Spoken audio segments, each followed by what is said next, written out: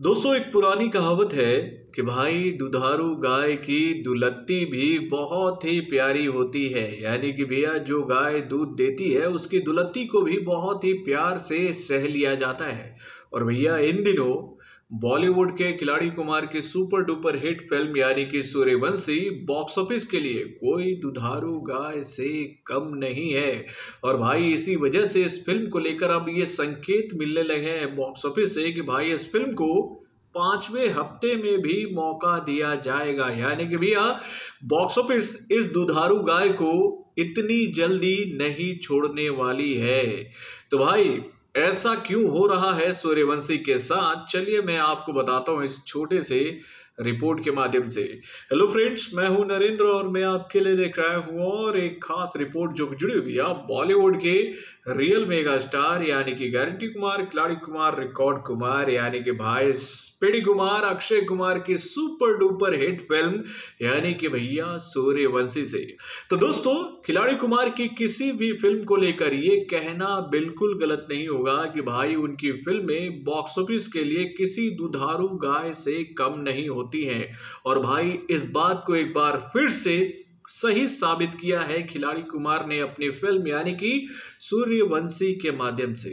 दोस्तों, सूर्यवंशी को लेकर यह बात तो आप लोग जानते हो कि भैया इस फ़िल्म को बॉक्स ऑफ़िस पर रिलीज़ हुए भैया सत्ताईस दिन हो चुके हैं और आज इस फ़िल्म का बॉक्स ऑफ़िस पर अट्ठाईसवां दिन है। तो भाई, इस फ़िल्म ने सत्ताईस दिनों में बॉक्स ऑफ़िस पर कैसा कलेक्शन किया है? चलिए मैं आपको पहले वो बताता हूँ। तो दोस्तों, आपको तो पता ही है कि भैया, जब इस फ़िल्म का चौथा हफ़्ता शुरू हुआ था तो इस फ़िल्म ने चौथे फ्राइडे को जो बॉक्स ऑफ़िस पर कलेक्शन किया था, वो था इकहत्तर लाख रुपए का। उसके बाद जैसे ही भैया इस फ़िल्म का चौथा शनिवार आया तो भैया शनिवार को इस फ़िल्म ने जो बॉक्स ऑफ़िस पर कलेक्शन किया था, वो था एक करोड़ तिरालीस लाख रुपए का।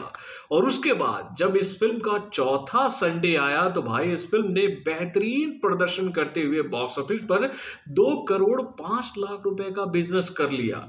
और उसके बाद जब इस फ़िल्म का चौथा मंडे आया, यानी कि चौथा वर्किंग डे जब इस फ़िल्म का शुरू हुआ तो भैया इस फ़िल्म ने चौथे मंडे को जो बॉक्स ऑफ़िस पर कलेक्शन किया था, वो था बासठ लाख रुपए का।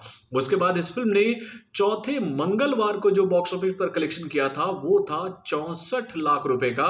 और उसके बाद इस फ़िल्म ने चौथे भैया वेडनेसडे को जो बॉक्स ऑफ़िस पर कलेक्शन किया है, यानी कि बुधवार को जो कलेक्शन किया है, वो है इक्यावन लाख रुपए का। यानी भैया इस फ़िल्म ने ये कहते ना कि एक लैंडमार्क उसने मेंटेन कर रखा था कि भैया 50 लाख से तो भैया आंकड़े को कम जाने नहीं देंगे और इन्हीं आंकड़ों की मदद से इस फ़िल्म ने 27 दिनों में बॉक्स ऑफ़िस पर जो अब तक कलेक्शन कर लिया है, वो है 190 करोड़ अट्ठासी लाख रुपए का। यानी कि भैया एक बार फिर से खिलाड़ी कुमार, भैया दुधारू गाय साबित हुए हैं बॉक्स ऑफ़िस के लिए। और भैया, इसी वजह से इस फ़िल्म को लेकर भी ये जानकारी सामने आ रही है कि भैया सूर्यवंशी को अभी और भी खेलने का मौका मिलेगा बॉक्स ऑफ़िस पर। यानी कि पाँचवें हफ़्ते में भी ये फ़िल्म सिनेमाघर में बरकरार रहेगी। तो दोस्तों, आप अपने कमेंट के माध्यम से ज़रूर बताइएगा कि भैया, इन दिनों अगर हम खिलाड़ी कुमार को लेकर ये कहते हैं कि भाई, खिलाड़ी कुमार बॉक्स ऑफ़िस के लिए कोई दुधारू गाय से कम नहीं है तो दोस्तों, ये कहना गलत नहीं होगा ना।